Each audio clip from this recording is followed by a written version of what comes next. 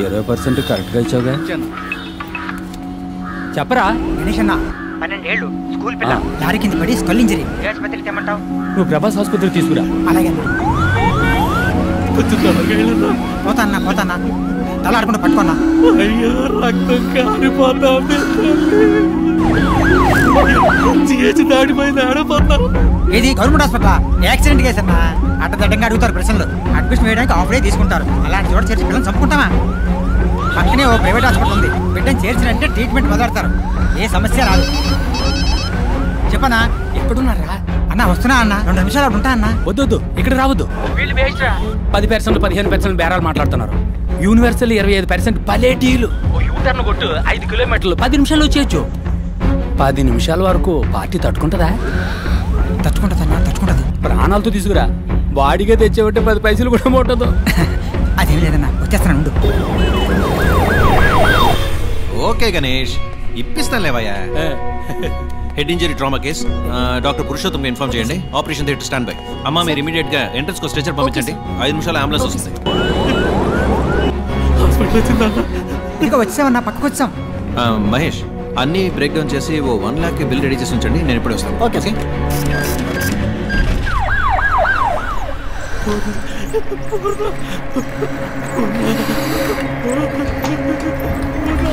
Sir రండి sir. Sir trauma కేసులో మన hospital number one ninety five percent success rate మీ అమ్మాయి ప్రాణాలు తప్పకుండా కాపాడతాం దిగులు పడకండి.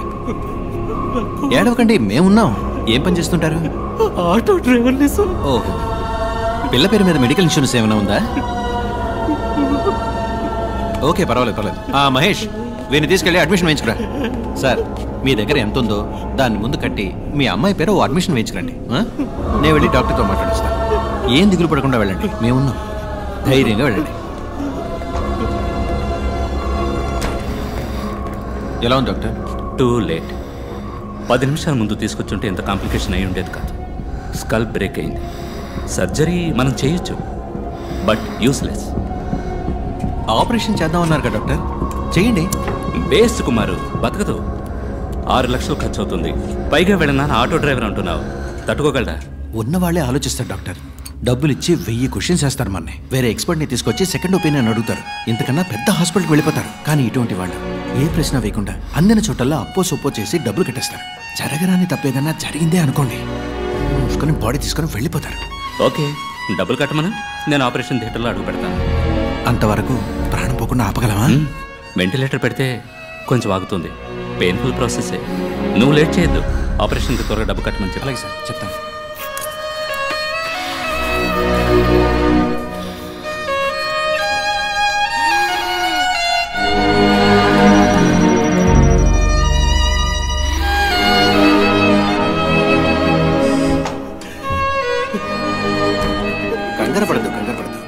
సర్జరీ చేయాలి. చేస్తే అమ్మాయిని ఖచ్చితంగా కాపాడచ్చని డాక్టర్ చెప్పారు. లేదంటే కష్టం అన్నారు. ఏడవద్దు ఏడవద్దు. ఆపరేషన్కి ఆరు లక్షల రూపాయలు అవుతుందన్నారు. మీ పరిస్థితి నేను వివరంగా చెప్పాను. మీరు మీ అమ్మాయిని వేరే హాస్పిటల్కి తీసుకెళ్ళి చేర్చాలనుకుంటే చేర్చచ్చు. కానీ ఇప్పుడు అది అడ్వైజబుల్ కాదని రిస్క్ అని డాక్టర్ అంటున్నారు. చెప్పండి ఏం చేద్దాం? నా కూతుర్ని ఒకసారి చూడొచ్చా భలేవారే.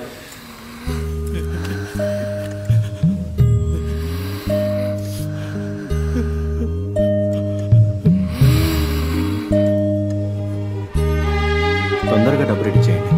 వెంటనే ఆపరేషన్ మొదలు పెట్టండి మీరేం భయపడకండి మేము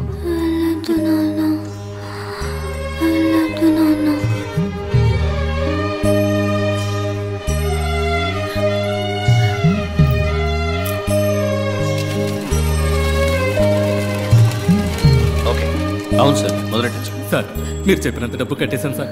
ఆపరేషన్ పూర్తయ్యాక ఒకటిన్నర లక్ష కట్టేస్తాను సార్. తెలుసు మీరు కడతారని నాకు తెలుసు. పాపను ఆపరేషన్ థియేటర్కి తీసుకెళ్ళారు. ఏం దిగులు పడకండి మేము ఉన్నాం.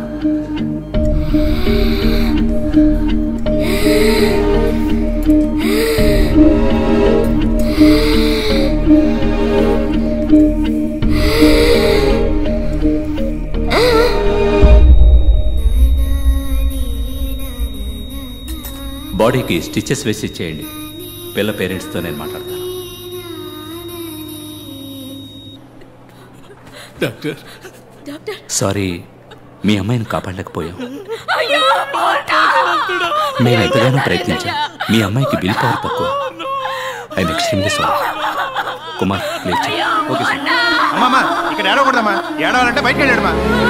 బిడ్డ చచ్చిపోయిందయ్యా. చెప్పండి అయ్యా ఏడకుండా నిజమేనమ్మా కానీ ఇక్కడ ఇలా ఏడిస్తే అందరికి ఇబ్బంది కదా. ఒకే ఒక్కసారి నా బిడ్డని చూడొచ్చు చూడొచ్చు. లక్షన్నర రూపాయలు బాకీ ఉంది. అది కట్టేసి మీ అమ్మాయి బాడీని తీసుకుపోయి జరగాల్సిన పని చూడండి.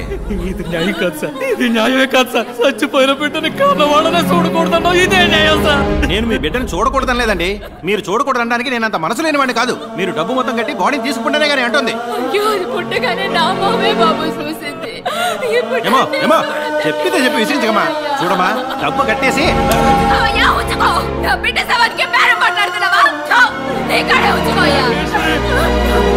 తల్లికెళ్ళండి తట్టుకోలేకపోయింది. నా బిడ్డ పడ్డాను కన్నా ఒక్కసారి మిగతా డబ్బు తప్పకుండా తెచ్చుకెళ్తాను. ఈశ్వరి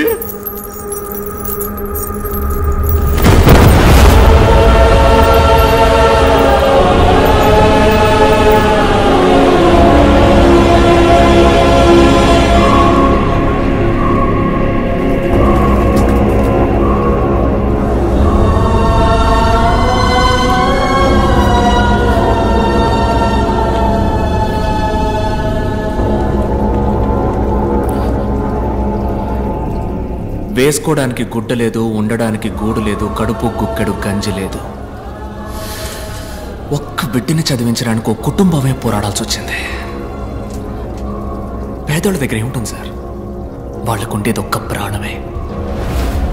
ఆ ప్రాణం కూడా ఒకడు ఎందుకని భావిస్తే వాడిని చేయమంటారు? బై ఎనీ ఛాన్స్ ఆ నలుగురు ఇప్పుడు ప్రాణాలతో ఇంకా బతుకున్నారా? పది నిమిషాల్లో ఆ పిల్లను ఒక సరైన హాస్పిటల్కి తీసుకెళ్ళుంటే పది నిమిషాల్లో ఆ పిల్లకి సరైన ట్రీట్మెంట్ ఇచ్చుంటే ఆ పిల్ల చనిపోయేది కాదు సార్.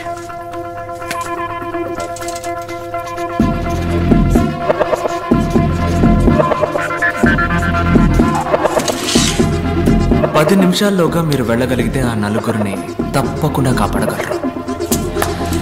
యువర్ టైం స్టార్ట్స్ నా